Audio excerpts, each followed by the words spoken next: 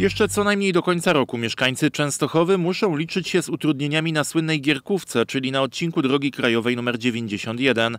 Postępy prac widać jednak gołym okiem. Po starej estakadzie nie ma już ani śladu. W jej miejsce powstaje nowa. Ale zanim mieszkańcy pojadą nową drogą, muszą uzbroić się w cierpliwość. No trudno, ale trzeba zrobić. Duże utrudnienia? No dla mnie to nie wie pan, bo tak już nie pracuję, więc dla mnie nie duże.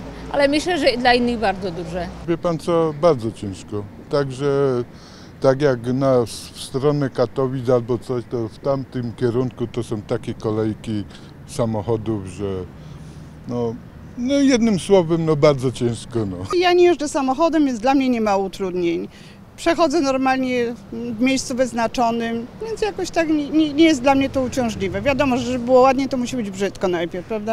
Inwestycja, która jest prowadzona w Częstochowie jest jedną z największych w historii tego miasta. Jej koszt to prawie 360 milionów złotych, z czego 194 miliony złotych to dofinansowanie unijne. Rozpoczęło się już na niektórych odcinkach także mm, asfaltowanie, układanie warstw bitumicznych, E, natomiast e, no niestety to nie jest jeszcze wstęp do tego, żebyśmy mogli te odcinki otworzyć, ze względu na to, że w ich ciągu są te obiekty mostowe, obiekty inżynieryjne, e, nad którymi prace ciągle trwają. Remont Gierkówki w Częstochowie prowadzony jest od 2021 roku.